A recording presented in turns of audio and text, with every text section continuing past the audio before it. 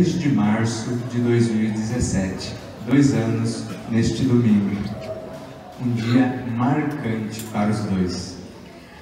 Para ela, um outro momento muito inesquecível desde o início do relacionamento foi quando juntos eles decidiram dar um passo mais importante, que foi comprar uma casa, que será a morada e lar desta nova família, deste lindo amor. E para isso, o Guilherme vendeu seu carro para colocar no negócio. Com essa atitude, a Ellen teve certeza de que, o, de que era algo sério e que o amor dos dois era o que ela sempre sonhou e o que o Guilherme era de fato o homem da sua vida e que ela queria passar o resto dos seus dias.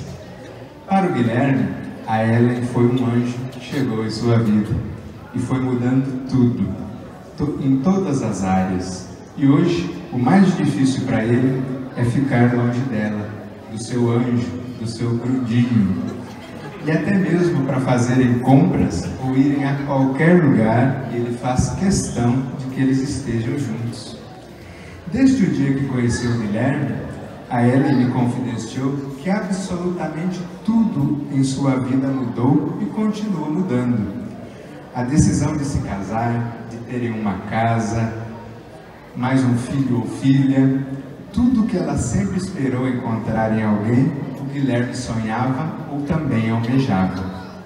Segundo ela, a vida deu um giro de 360 graus na melhor das mudanças possíveis.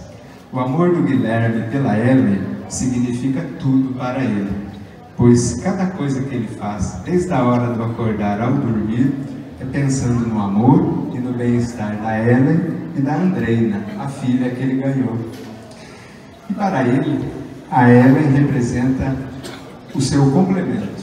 Ela trouxe tudo que faltava para torná-lo um homem completo.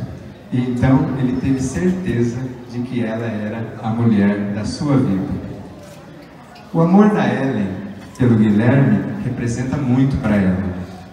E todos os dias eles reafirmam: Eu te amo, eu te amo, independente se estão perto ou longe, pessoalmente, por mensagem, por ligação, por videochamada.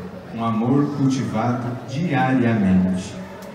A Ellen se sente cada dia mais grata por este amor que o Guilherme tem por ela e pela Andreina, o que torna esta relação